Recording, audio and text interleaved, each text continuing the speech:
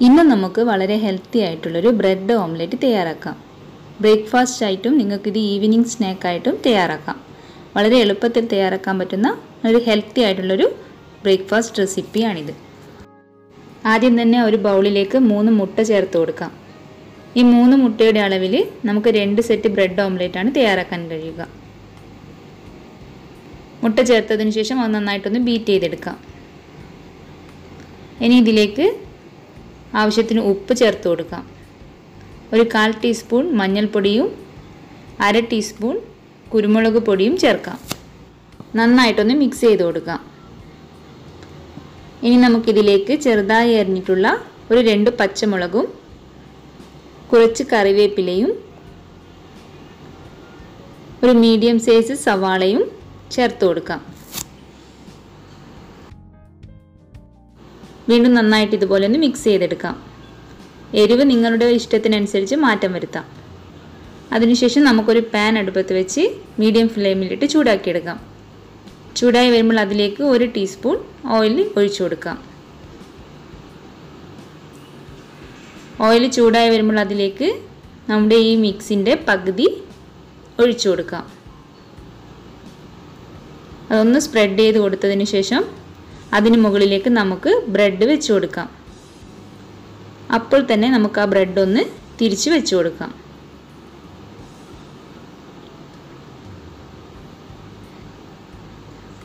ഇനി ഇത് നന്നായിട്ടൊന്ന് കുക്ക് ചെയ്തെടുക്കാം.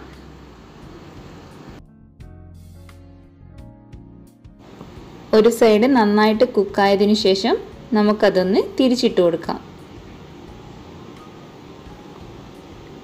അതിനുശേഷം വീണ്ടും നന്നായിട്ടൊന്ന് കുക്ക് ചെയ്തെടുക്കാം.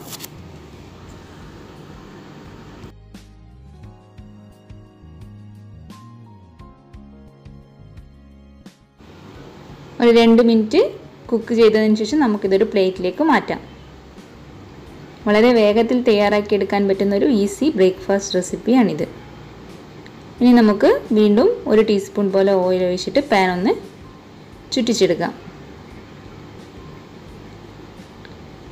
ഇനി ഇതിലേക്ക് ബാക്കിയുള്ള മുട്ടയുടെ മിക്സ് ചേർത്ത് കൊടുക്കാം. അതൊന്ന് സ്പ്രെഡ് ചെയ്ത് കൊടുത്തതിന് ശേഷം നമുക്ക് അതിന്റെ മുകളിൽ ബ്രെഡ് വെച്ചിട്ട് അപ്പോൾ തന്നെ അതൊന്ന് തിരിച്ചിടാം. രണ്ട് ബ്രെഡും ഇതുപോലെ ചെയ്തതിന് ശേഷം നമുക്കത് നന്നായിട്ടൊന്ന് കുക്ക് ചെയ്തെടുക്കാം. അടിയേഷൻ നന്നായിട്ട് കുക്കായി വരുമ്പോൾ നമുക്കത് തിരിച്ചിട്ടിട്ട് ബ്രെഡും ഒരു രണ്ട് മിനിറ്റ് കുക്ക് ചെയ്തെടുക്കാം.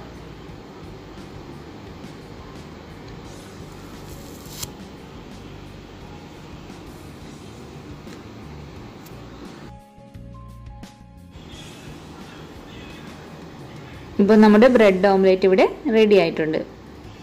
വളരെ എളുപ്പത്തിൽ തയ്യാറാക്കാൻ പറ്റുന്ന നല്ല ഹെൽത്തി ആയിട്ടുള്ള നല്ല ടേസ്റ്റി ആയിട്ടുള്ളൊരു റെസിപ്പിയാണിത് എല്ലാവരും തീർച്ചയായും ട്രൈ ചെയ്ത് നോക്കണം. നിങ്ങൾക്ക് ഇഷ്ടപ്പെടുകയാണെങ്കിൽ ഈ ചാനൽ ലൈക്ക് ചെയ്യാനും ഷെയർ ചെയ്യാനും സബ്സ്ക്രൈബ് ചെയ്യാനും മറക്കരുത്. സബ്സ്ക്രൈബ് ചെയ്തിട്ട് തൊട്ടടുത്തുള്ള ബെൽ ബട്ടൺ പ്രസ് ചെയ്ത് ഓൾ അടിച്ചാൽ മാത്രമേ ഞാൻ അപ്ലോഡ് ചെയ്യുന്ന വീഡിയോസിന്റെ നോട്ടിഫിക്കേഷൻസ് നിങ്ങൾക്ക് ലഭിക്കുകയുള്ളൂ. Thank for watching